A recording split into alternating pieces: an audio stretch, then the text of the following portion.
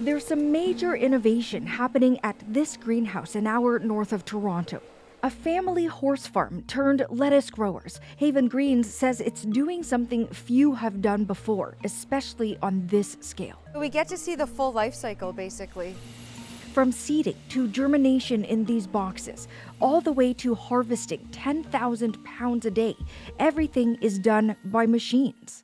We have sensors that measure temperature, uh, light intensity, humidity levels, pressure levels. Everything within this greenhouse is automated. No one touches this crop. Not only that, the precise amount of water, light, nutrients, all decided by artificial intelligence. Canadians are looking a lot more closely at where our food comes from. We still rely a lot on the U.S. 90% of our leafy greens come from south of the border, so Wilmot says he hopes his operation will give Canadians another homegrown option. Did I see the trade war coming?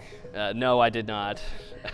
but I was sick and tired of uh, effectively old, slimy, smelly lettuce. That's super crunchy. The federal government and several provinces have invested millions into automating food production. It requires less labor and reduces greenhouse gas emissions with fewer trucks needed to haul produce across the continent. Some scientists say the expensive technology has to be made available to everyone. We have to keep small farmers also in mind because we don't want to, uh, we want them to operate and uh, thrive in this situation. There are other concerns about using AI in agriculture. We know now, right, the environmental costs um, in terms of data storage, the energy costs.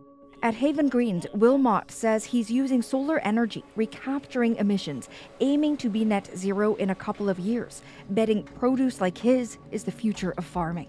Lisa Xing, CBC News, King City, Ontario.